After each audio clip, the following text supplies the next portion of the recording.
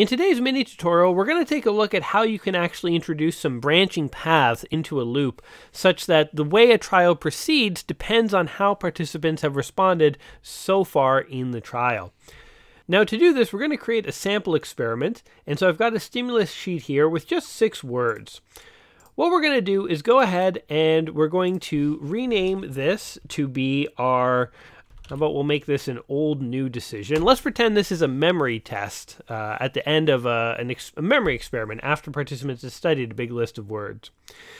So we're going to have participants make a decision. Um, on this trial, we're going to show participants the contents of WordStim and make sure to set every repeat uh, for any variable here. This will be our old new decision uh, trial. And in addition to showing the word stimulus, let's actually add a scale at the bottom so that we can remind our participants of a couple of buttons. Let's use uh, the button C for old and M for new, and we'll call this old new scale. Now, if we went ahead and created a loop around this, we're going to set number of repetitions to one because we only want to go through this, this list of stimulus words once. We're going to call this our, uh, this is, these are our test trials. Going through randomly is fine. And all we need to set now is our stimulus file under conditions here. So we can go ahead and select this Excel sheet, which is the one I've got open right over here. All right, so our loop is now set up and it should loop through these six items. And actually, one more thing we're going to add, we're going to give these an infinite duration because we want to get keyboard responses here. And we're going to add a keyboard object so that we can actually get those responses. And we'll call this the old new key. And people can press either the button C for old or M for new. Uh, if you remember, that's what we put on our scale. Right? If we look at our scale, C is old, M is new. And actually, one more thing we should do while we're here is actually change the X and Y coordinates. We'll set this to negative 0.25 so it appears below the old new text. So we'll have our text in the center of the screen, the scale below it, and we're picking up keyboard inputs. If we go ahead and click run, what we will see is our trial. Now it doesn't look very very tidy. I mean the alignment of C and M is off, but you guys get the idea. Um, for each trial here, we can make a response, old, new, and so on. Now one thing I'm going to add just so it's easier to see when we've pressed a key is a new routine. I'm going to call this blank 500 and it will be inserted there. And this is just going to be a blank slide of half a second. So I'm inserting a text object with no text. And if we go ahead and run one more time, we can see what impact that had. So we get the same uh, question for grass, but you can see every time we press a button, the scale disappears. All right, so let's introduce our branch. So let's say that on the old new trial, every time a participant says that an item is old, we want to ask them a follow up question. Let's say that when a participant calls an item old, we want to ask them if they can recollect details about the item from the study phase, or if they just have a feeling of familiarity. Basically, we can ask them a remember know follow up question. So, in order to do this, we need a new routine. We'll call this the remember know trial. We'll add it after the blank.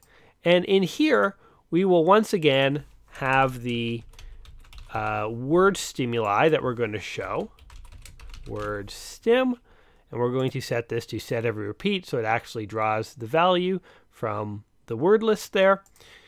We're going to add, uh, oh, sorry, I should make this infinite actually. Now we're going to add another scale. We'll call this the RKN or the RK scale. And here we're going to say remember versus know. And let's just say R and K. So we'll take the buttons R and K. We'll set the scale, the position to negative 0.25 in the y-axis so that this is below the word.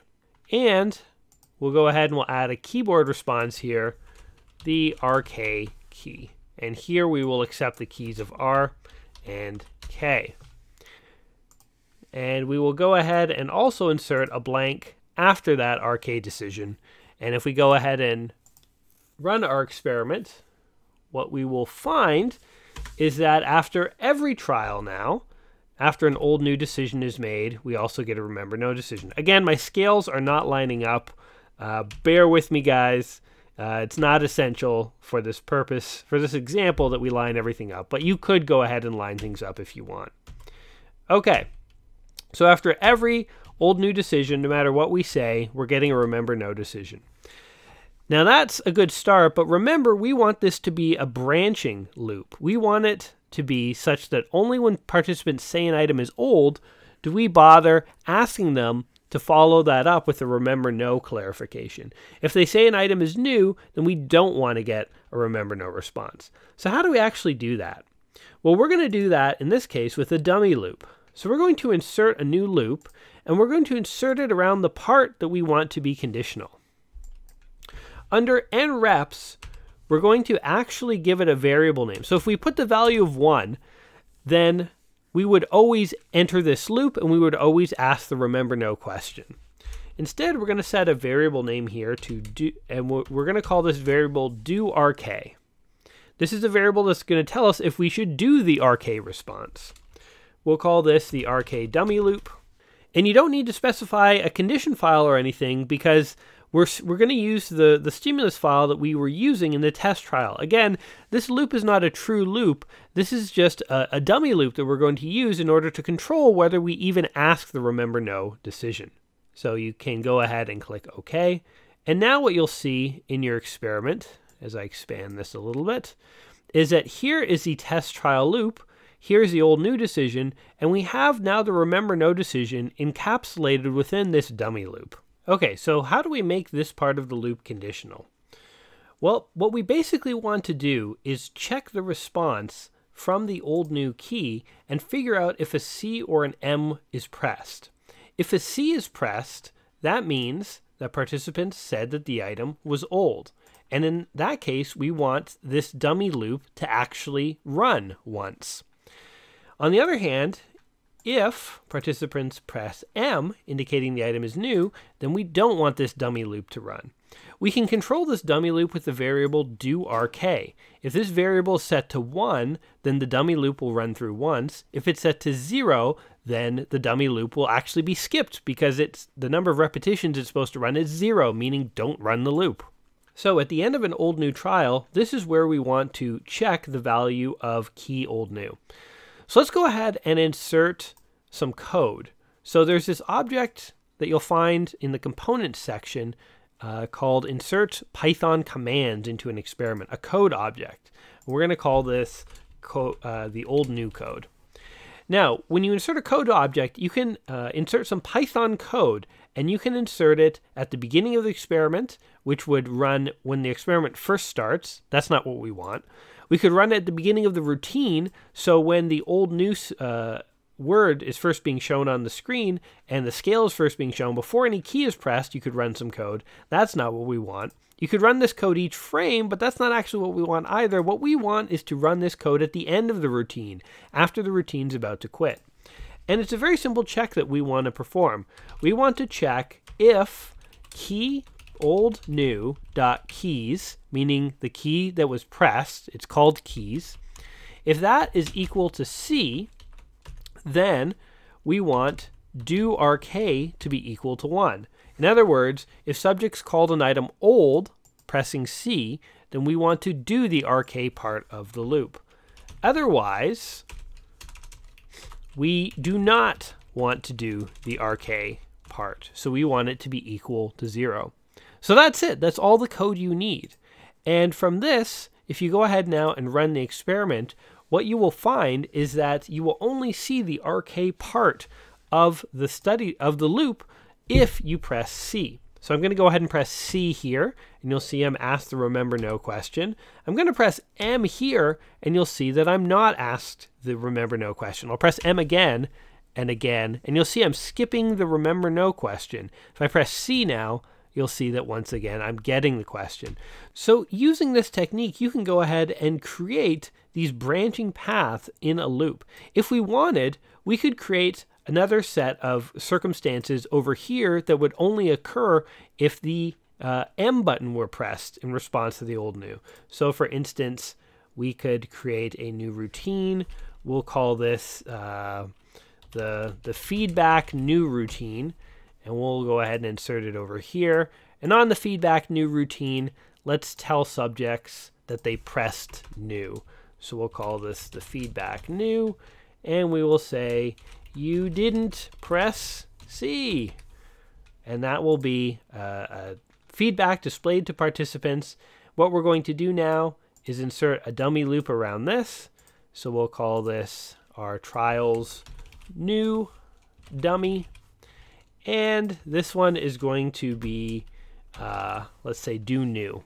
And whether we launch this loop will be dependent on a variable called do new. And what we need to do now is go into our code. And what we can do is, in addition to setting do rk, if somebody pressed C, then we don't want the new loop to occur. And if somebody pressed uh, m, then we do want it to occur. So you can see we're setting rk to 1 and new to 0. We're setting rk here to 0 and new to 1. And by doing this, we, we're selectively turning on this part of the remaining part of the trial, or this part. So if we go ahead and run our experiment now, every time that we press M, it's going to give us that feedback. So I'll press M here, you didn't press C. I'll press C here, and we're getting the remember know. Now you can stack this technique one on top of the other. So if you wanted, after a participant pressed, uh, let's say after they pressed K, you wanted to then ask them their confidence. You know, how confident are you on a scale of 1 to 6? How much familiarity do you have for this item? We could go ahead and create a confidence item here. We could uh, we could circle that in a dummy loop, and then we could insert some code here that checked to see if they pressed K. And if they pressed K, then go into this other dummy loop. So you can nest these loops in one another. You can create these branching paths. Maybe we want more things to happen in the new part over here. Um, so this technique can really be expanded over and over, and you can create these very sophisticated trials that go down this contingency path. So based on how participants are responding, you can uh, choose to display certain things next. Anyway, uh, I hope that gives you some new ideas for ways that you can use PsychoPy to create uh, complicated experiments. And uh, good luck. This has been a PsychoPy coding quickie.